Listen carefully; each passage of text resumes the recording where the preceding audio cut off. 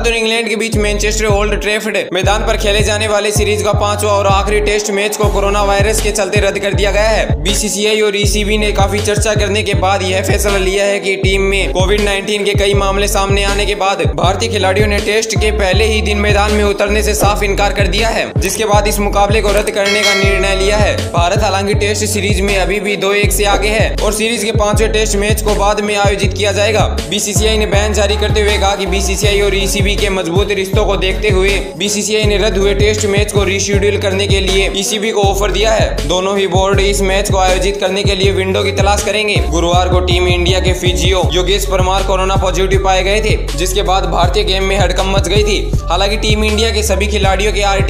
test के मुताबिक सभी की रिपोर्ट नेगेटिव आई थी यह माना जा रहा है की पांचवा टेस्ट अगले इंग्लैंड दौरे आरोप होने की उम्मीद है अगले साल भारत लिमिटेड ओवरों सीरीज खेलने के लिए इंग्लैंड दौर करेगी इस मैच के रद्द होने के बाद भारत ने अभी चौदह साल बाद इंग्लैंड की सरजमी पर टेस्ट मैच को जीतने का मौका गवा दिया है हालांकि टीम इंडिया के पास अभी मौका है लेकिन उसके लिए टीम इंडिया को इंतजार करना होगा दोस्तों क्रिकेट की ऐसी ही लेटेस्ट अपडेट जानने के लिए हमारे चैनल को सब्सक्राइब जरूर कर लीजिएगा